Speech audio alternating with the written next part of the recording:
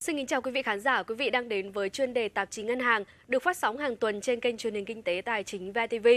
Thưa quý vị, 2017 được đánh giá là năm thành công của hoạt động ngân hàng nói chung trong nhiều năm trở lại đây. Có thể thấy rằng những yêu cầu khắt khe hơn từ hoạt động minh bạch đến nhu cầu tăng vốn đã khiến cho các ngân hàng chủ động hơn trong việc lên sàn. Tuy nhiên vẫn còn đó những trở ngại khiến cho nhiều ngân hàng liên tục trễ hẹn. Nội dung này sẽ được chúng tôi đề cập trong chương trình ngày hôm nay. Trước hết, mời quý vị cùng theo dõi phần tổng hợp của chúng tôi sau đây về những ngân hàng đã lên sàn trong thời gian vừa qua.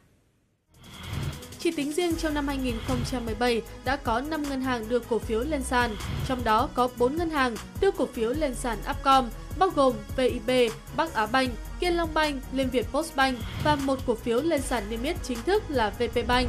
Ngay trong phiên giao dịch ngày 5 tháng 1 đầu năm 2018, HDBank đã đưa gần 882,9 triệu cổ phiếu HDB của Ngân hàng Phát triển Thành phố Hồ Chí Minh lên sàn giao dịch chứng khoán Thành phố Hồ Chí Minh. Như vậy, tính đến thời điểm hiện tại, sàn chứng khoán đã đón tổng cộng 15 ngân hàng niêm yết cổ phiếu trên các sàn chứng khoán, trong tổng cộng hơn 30 ngân hàng thương mại cổ phần hiện nay, gồm có Vietcombank, BIDV, Vietinbank, Eximbank, MBBank, Sacombank, VPBank, HDBank niêm yết trên sàn giao dịch chứng khoán HOSE. ACB, SHB, NCB niêm yết trên sàn giao dịch chứng khoán HNX, VIB, Kiên Long Bank, Liên Việt Postbank và Bắc Á Bank trên Upcom. Bên cạnh đó, có một số ngân hàng dự kiến sẽ lên sàn trong năm 2018 như Techcombank, TPBank sẽ niêm yết trên HOSE vào nửa đầu năm, OCB sẽ niêm yết trên HOSE vào nửa cuối năm, Nam Á Bank, Maritime Bank, Việt Á Bank, Sibank nhiều khả năng sẽ niêm yết trên Upcom trong năm 2018.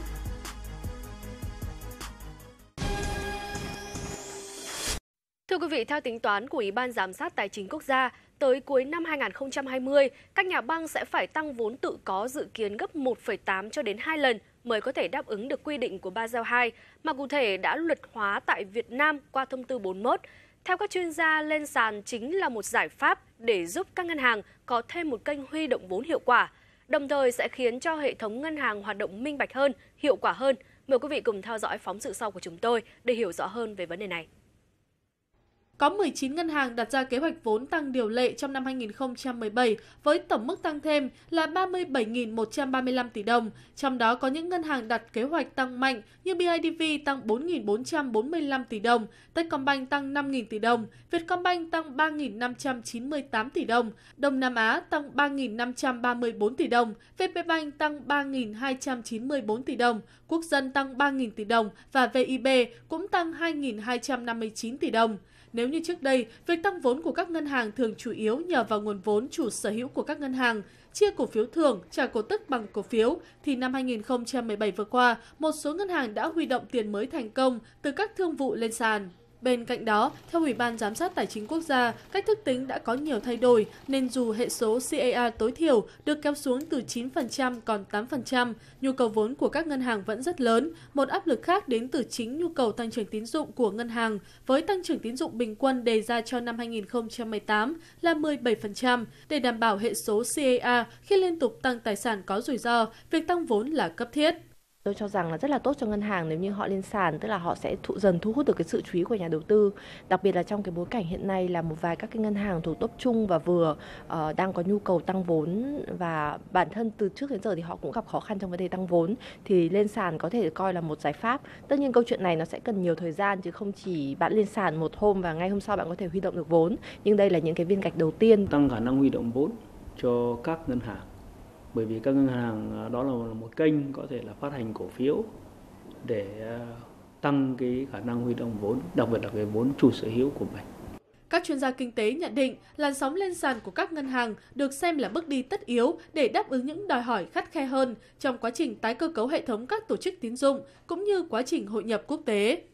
nó sẽ có thu hút sự quan tâm phía các nhà đầu tư với nhất là trong cái quá trình tái cơ cấu hệ thống ngân hàng cũng như là giảm cái tỷ lệ sở hữu chéo giữa các ngân hàng uh, trong hệ thống. Rõ ràng là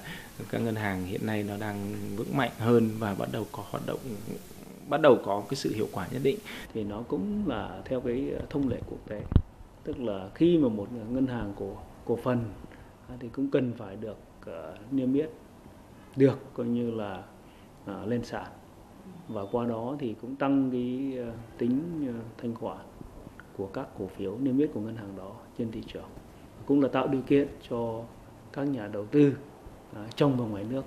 có thể tham gia. Bên cạnh đó, khi lên sàn, các ngân hàng sẽ phải đáp ứng các điều kiện về công bố thông tin. Như vậy, các ngân hàng sẽ chịu sự giám sát không chỉ từ các cơ quan quản lý, mà còn chịu sự giám sát của thị trường, của nhà đầu tư, thậm chí là của cả các ngân hàng khác. Có thể thấy rằng, các ngân hàng lên sàn sẽ tạo ra một thị trường tài chính minh bạch hơn, hoạt động hiệu quả hơn. Ờ, chính vì ờ, sự minh bạch ờ, yêu cầu chung và có nhiều người giám sát mình thì chắc chắn mình sẽ tốt hơn. Đó là lý do minh bạch và chúng tôi để lên sàn Upcom và sẽ là chính thức.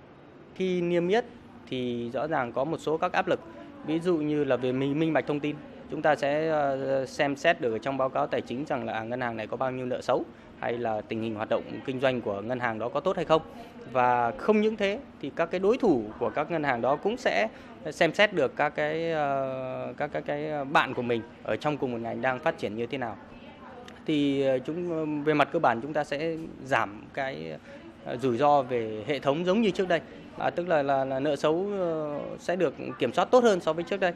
Đấy. Thế ngoài ra thì cái độ minh bạch đó sẽ giúp cho các cái ngân hàng hoạt động vì cổ đông hơn. Và và rõ ràng khi hoạt động khi được thị trường soi xét thường xuyên thì hoạt động sẽ được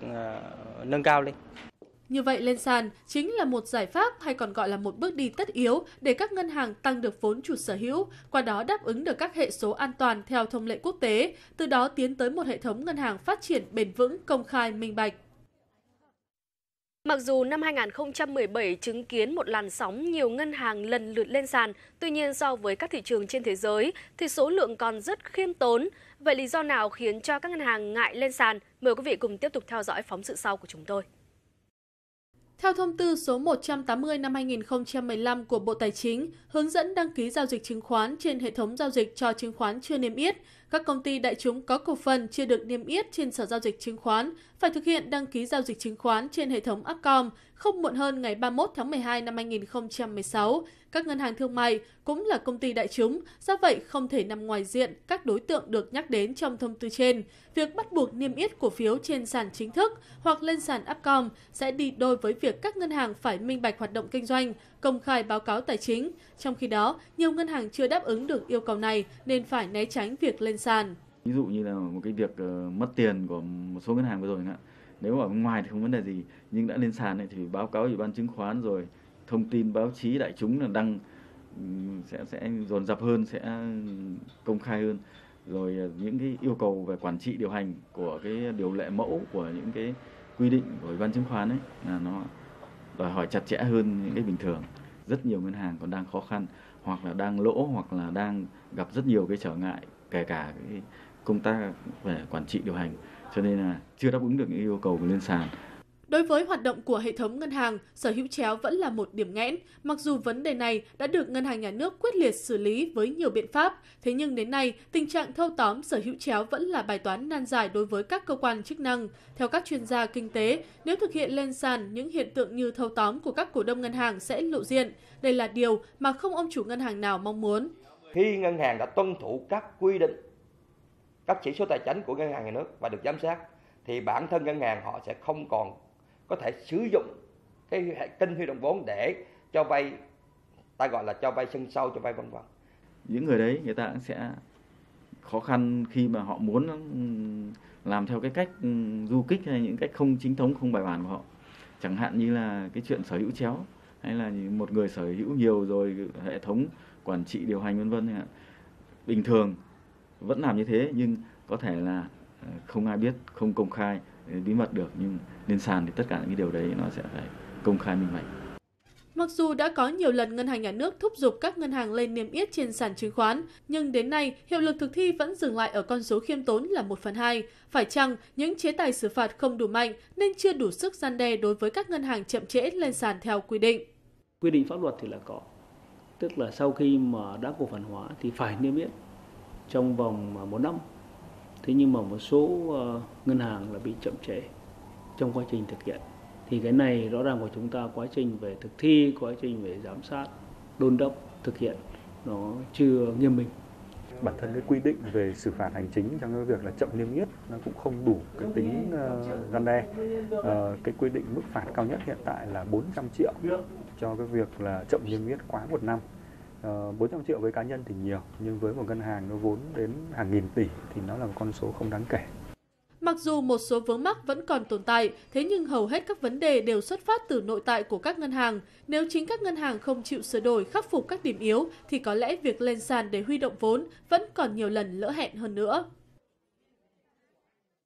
Dù theo thông tư 180 năm 2015 của Bộ Tài chính, các ngân hàng là công ty đại chúng cần phải đăng ký giao dịch trên Upcom hoặc niêm yết trên sàn không muộn hơn ngày 31 tháng 12 năm 2016. Tuy nhiên, vẫn còn nhiều ngân hàng chưa thực hiện lên sàn dù thời hạn đã trễ. Vậy giải pháp nào để các ngân hàng này nhanh chóng lên sàn? Mời quý vị cùng theo dõi chùm ý kiến ngay sau đây của chúng tôi. Trước hết thì phải đẩy nhanh cái tiến độ cổ phần hóa doanh nghiệp nhà nước nói chung và các ngân hàng thương mại nhà nước nói riêng. Đặc biệt là cái lộ trình thoái vốn của nhà nước đối với các ngân hàng thương mại nhà nước. Thoái vốn của các ngân hàng thương mại nhà nước khi có cái yếu tố đầu tư ngoài ngành. Cái thứ hai là thực hiện nghiêm minh quy định của luật pháp. Tức là sau khi mà niêm yết rồi trong vòng 12 tháng, trừ khi có những cái lý do rõ ràng, thuyết phục, bằng không là phải yêu cầu lên sàn trong vòng 12 tháng sau khi đã cổ phần hóa thì tôi cho rằng là trong thời gian tới cùng với định hướng IPO uh, các doanh nghiệp nhà nước lớn của của chính phủ thoái vốn uh, tại các cái doanh nghiệp nhà nước lớn thì cái chủ trương để mà thúc đẩy và uh, bắt buộc các cái doanh nghiệp nói chung và kể cả các nhóm ngân hàng nói riêng mà nếu như họ đã là ngân hàng đại chúng rồi thì họ bắt buộc sẽ phải có cái cơ chế có thể là đăng ký giao dịch trên Upcom hoặc cũng có thể thậm chí là niêm yết thẳng trên um, HNX hoặc là ừ, HSX thì các cái chế tài phạt và các cái thông tư nghị định trước đây đã có rồi vấn đề bây giờ chúng ta thực thi và làm nghiêm nó hơn thì tôi cho rằng cũng là một trong những cái giải pháp uh, rất là là mạnh để cho các ngân hàng họ cũng phải ngại. Cái hướng duy nhất là đi về các quy định về hành chính với những cái quy định chặt chẽ hơn và có tính uh, ràng buộc mạnh mẽ hơn từ cơ quan quản lý trực tiếp là từ ngân hàng nhà nước. và về ngân hàng nhà nước có cái quyền hành quản lý đối với các ngân hàng thương mại khá là cao ở thời điểm hiện tại. Và ngoài cái luật về chứng khoán thì chúng ta còn có luật các tổ chức tín dụng. Và như vậy thì và ngân hàng nhà nước còn có quản lý những cái công cụ hành chính riêng của ngân hàng nhà nước như cơ quan thanh tra giám sát thì như vậy cũng có cái quyền rất là tốt nhưng cái việc là uh, buộc các ngân hàng phải lên sàn để biết chưa kể là ảnh hưởng tới uy tín của các ngân hàng nữa cho nên cũng là một trong những cái lực đẩy sức ép từ bên ngoài buộc các ngân hàng họ phải đẩy nhanh hơn cái quá trình uh, uh, đăng ký giao dịch trên Upcom hay là niêm yết trên hai sàn chứng khoán. Uh, trong quá khứ thì chúng ta có thể là uh, công khai tên của các doanh nghiệp chậm nợ thuế chẳng hạn thì bây giờ chúng ta các việc là công khai tên các uh, ngân hàng chậm lên niêm yết và tôi nghĩ là cái ảnh hưởng về mặt hình ảnh nó khá là lớn ở bản thân các cổ đông lớn cũng sẽ phải chịu những áp lực nhất định khi mà tên tuổi của mình và bị nêu ra trong việc chậm trễ là niêm yết và như vậy thì họ sẽ phải tốt giáo hơn trong việc là tuân thủ pháp luật. Thưa quý vị, trong bối cảnh nền kinh tế vĩ mô ổn định, thị trường chứng khoán thăng hoa, các ngân hàng khi lên sàn chắc chắn sẽ tìm kiếm được nhiều cơ hội để hoàn thành kế hoạch tăng vốn. Không chỉ như vậy, việc các ngân hàng lên sàn còn giúp cho thị trường tài chính hoạt động hiệu quả hơn, minh bạch hơn và quan trọng nhất là giúp hệ thống ngân hàng phát triển ổn định và bền vững hơn. Đến đây, tạp chí Ngân hàng tuần này của chúng tôi cũng xin được khép lại. Quý vị có thể theo dõi trực tuyến hoặc xem lại chương trình trên website www.bitv.vn và cập nhật thông tin qua Facebook kênh truyền hình kinh tế tài chính VTV. Cảm ơn quý vị đã quan tâm theo dõi. Xin kính chào và hẹn gặp lại.